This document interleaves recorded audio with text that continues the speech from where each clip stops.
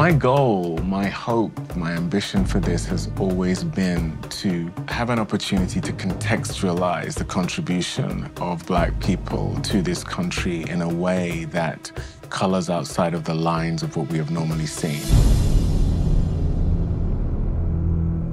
As a filmmaker and a storyteller, I'm always drawn to projects that tell the story of people who have been historically underrepresented. Look, I think representation is not only important, but it, it, it's probably more important than it ever has and, and should be. I think Bass Reeves is a unicorn as a show because we are being given all the resources that we need to be as authentic as we can to tell a story that is as beautifully diverse as any Western story I know.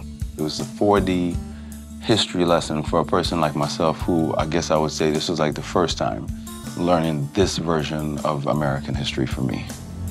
You still believe in a Lord that let you spend half your life in chains? Man, man, those chains. The black cowboy and the black lawman in the Old West has sadly not been portrayed often enough or accurately enough. Literally, this man is empowered and he takes that power and he uses it for the good of his community and this country.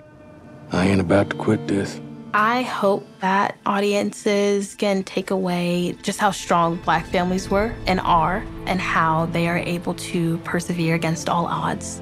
It was important for us to really explore the authentic human condition of every race and creed in the show. Whether it's the production design, the costumes, the hair, the makeup, the script itself, an enormous amount of effort and work has gone into making sure it is uh, historically as accurate as possible. And you need somebody who knows Choctaw. That someone who could shoot better than dear old Horace. We also, as far as the American Indian and, and their experience, we hired Mo Brings Plenty, who has been a godsend for us just in terms of making sure that we get the American Indian experience correct. Throughout production, we've had Native Creek speakers, Native Choctaw speakers, helping us get the language and the culture right at every turn. It's going to bring to light that they still exist and, and their languages still exist you know, their culture still exists. Looking at uh, Native American culture, because in our story,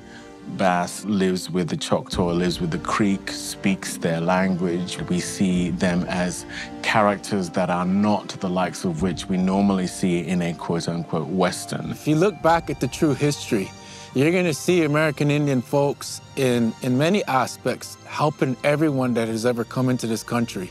Water. Oh, you know, whether we show them that the water is drinkable or we showed them what is edible, you know, which berries to pick, when to pick them. The people help them. We have sort of like a very media mindful generation now that wants the truth. Gotcha! Gotcha! Ashley took.